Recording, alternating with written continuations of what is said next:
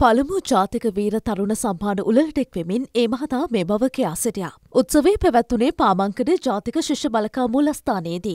ජීවිත පරිත්‍යාගින් සිදු කළ නිර්භේත ක්‍රියාවන් ඇගීම වෙනුවෙන් ජාතික ශිෂ්‍ය බලකාය සහ ආරක්ෂක රාජ අමාත්‍යංශය එක්වයි මෙම සම්පාන පිරිනැමීම සිදු කළේ. ගංවතුරට හසු පුද්ගලින් දෙදෙනෙකු බේරා ගැනීම වෙනුවෙන් පාදුක්ක ප්‍රදේශයේ පදිංචි චරිත්මා ජිනේන්ද්‍රී ශිෂ්‍යාව මෙහිදී සම්පානයට පාත්‍ර වුණා. එමෙන්ම අඩි තිස්සයක් පමණ ගැඹුරු අනාරක්ෂිත ලිඳකට වැටුණු සිව් අවුරුදු කුඩා දරුවෙකුගේ ජීවිතය බේඩා ගැනීම වෙනුවෙන් පුත්තලම මහකුමුක් කංවල පදිංචි සසිදු නිම්සර ශිෂ්‍යයාද සම්පාන ලබා ගත්තා.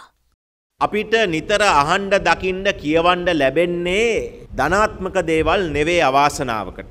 අපිට ඕනේ පාසැල් පද්ධතිය තුළින් නායකත්වය පෞර්ෂය නිර්බීතත්වය දැනුම තියෙන තරුණයෙක් තරුණයක් බිහි කරන්න.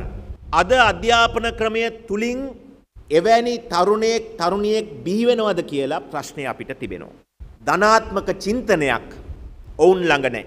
හැම දේටම රටටයි සමාජෙටයි බැන බැන ඉන්නවා. රට හදන්න ඇත්ත උවමනාවක් බලාපොරොත්තුවක් කැක්කුමක් තියෙනවා නම් පළමුව තමුන් වෙනස් වෙන්න ඕන.